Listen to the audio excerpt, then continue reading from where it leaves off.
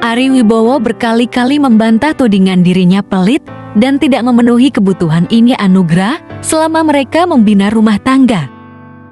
Aktor berusia 52 tahun ini tegas menyebut selama menikah ia memperhatikan kebutuhan Inge, termasuk soal pakaian. Ari menyebut sang istri memiliki banyak pakaian di lemarinya. Seandainya, kalau bisa dilihat lemari pakaiannya Inge, itu pakaiannya banyak sekali, ucap Ari Wibowo dalam video yang beredar di media sosial baru-baru ini.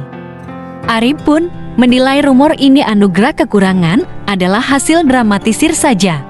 Kalau itu dibilang dia sering banget kekurangannya aku rasa itu agak sedikit dilebih-lebihkan, agak sedikit didramatisir, bebernya. Sementara soal cep suami pelit, Ari Wibowo mengaku sempat stres, apalagi ia dihujat hampir satu Indonesia. Pasti sempat stres juga, sempat bertanya-tanya, kenapa harus dengan cara seperti ini?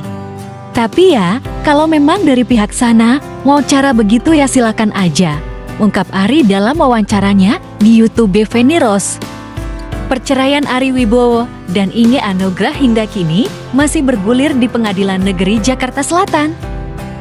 Alasan Ari menceraikan ini adalah cekcok di antara mereka yang terjadi sejak tahun 2020. Ada dugaan orang ketiga juga yang menjadi alasan Ari Wibowo memilih berpisah.